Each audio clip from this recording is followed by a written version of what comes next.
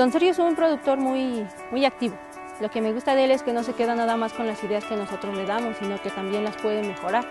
Muchas veces nosotros le decimos, ah, don Sergio, aquí está la fertilizadora, pero él me dice, ¿sabes qué? Le modifiqué porque necesitaba tirar más fertilizante. Entonces, las ventajas de él es que no, no se queda nada más con el hecho de decir, ay, me la trajeron con, las, con las rejas así como están y así la deja, ¿no? sino que la mueve, la modifica para si necesitaba en algunos casos fertilizar maíz o algún otro cultivo, la modifica para poder hacer los trabajos en otros, en otros cultivos. No, sí funciona. De hecho hay que tener calma al iniciarlo, pero sí funciona. Pues se ahorra porque ya no se barbecha mucho. O sea, en sí estamos sembrando sin, sin barbechar, sin subsolear, eh, ya nada más estamos sembrando así en conservación, pues se deja el rastrojo y, es lo que hace que ahorremos también el, el barbecho. Sí, se ha, se ha aumentado más o menos un 15-20% es más barato. Al principio sí eh, se hace más caro porque hay que eliminar demasiadas malezas, pero al cabo de 2-3 años ya se va, va abaratando el costo.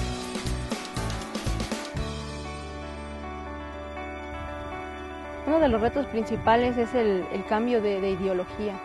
Los productores piensan que siempre trabajando el terreno es como van a producir mejor, entonces cuando llegamos y les platicamos del sistema de dejar los rastrojos sobre la superficie, ah, piensan que no va a servir. La verdad, en ocasiones pues, nos tiran de a locos cuando ven que, que sembramos así sin mover la tierra, porque empiezan a pensar que es trabajo de flojera.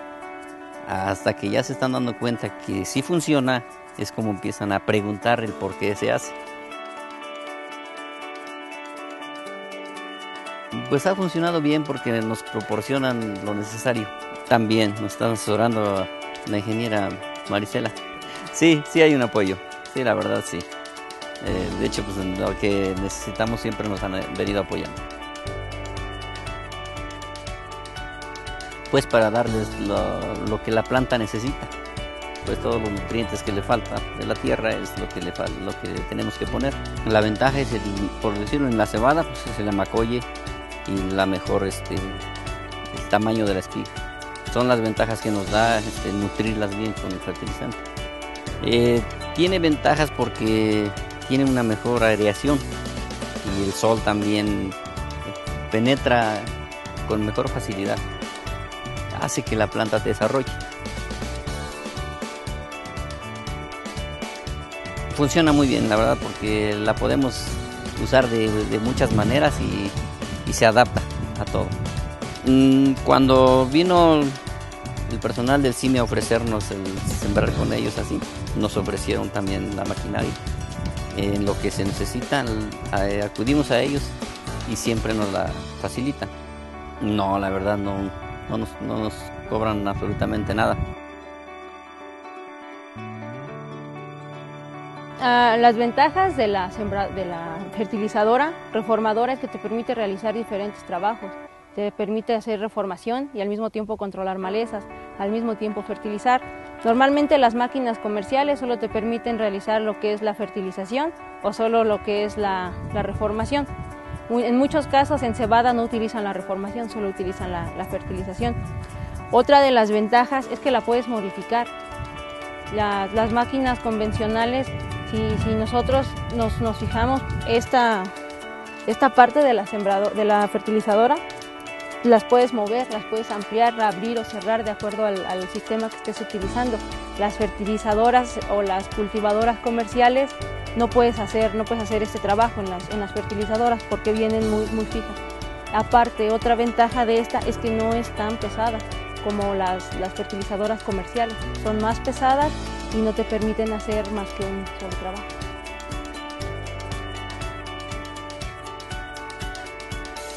Funciona a través de la rueda de mando. Cuando el tractor entra en marcha, esta rueda empieza a girar. Por medio de estos engranes que vemos aquí, da trabajo a la caja de engranes que te permite dosificar la cantidad de fertilizante que vas a tirar. Puedes tirar 100 kilos hasta 200 kilos si lo quieres o más. Y ya por medio de esta perilla puedes abrir o cerrar los orificios para hacer un tirado más exacto, porque a veces eh, de acuerdo a las condiciones del terreno con la rueda de mando pueden cambiar las cantidades que estés tirando. Si está muy húmedo y no agarra buena tracción la rueda, no va a tirar bien, o si está muy, muy, muy en buenas condiciones el terreno, puede ser que solamente con la caja de engranes y con la rueda de mando hagas una, una buena fertilización. Otra de las ventajas es que cuando calibras la, fertilizadora vas haciendo una tirada homogénea de fertilizante. Cuando lo haces al voleo no es tan, no es tan homogéneo porque en algunos, como el, puño agarra a veces mucho, a veces poco, lo que avientas no es tan, tan homogéneo. Otra de las ventajas de la fertilizadora es que vas sepultando el fertilizante. Esto hace que sea más, más la cantidad de fertilizante que la planta está absorbiendo, porque cuando lo haces al voleo a veces queda expuesto, entonces se volatiliza y realmente nosotros diríamos, si estás aplicando 100 kilos de, de urea, que son 46 unidades de nitrógeno, probablemente estás utilizando solamente 20 unidades al voleo y cuando lo entierras estás utilizando 70 unidades.